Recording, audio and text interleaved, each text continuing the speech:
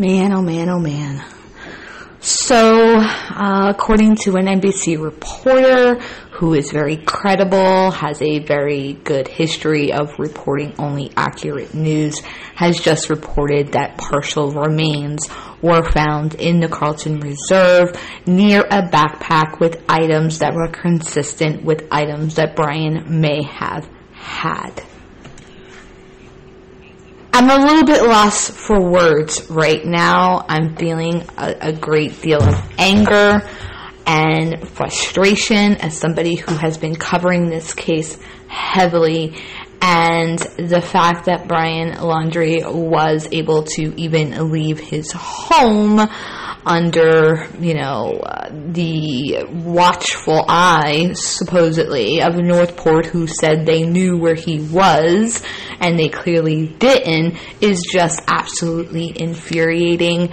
And this is um, quite the tragedy, to say the least. Um, the entire story as a whole and although they have not confirmed this via the police, and we do not know if it is Brian Laundrie, it sure as heck sounds like it. So, again, stay tuned. I may be doing more updates throughout the day. As it stands right now, allegedly, partial remains were located this is not the ending I wanted, and I just did this whole video about him using burner phones and, you know, apps, and I came to this conclusion that I do think he was close to home, and I know that so many thought that he wasn't in the Carlton Reserve. I did feel that he could be in the Carlton Reserve since it was close to home, although I was of the mindset that he was still alive and that he was too cowardly to end his life.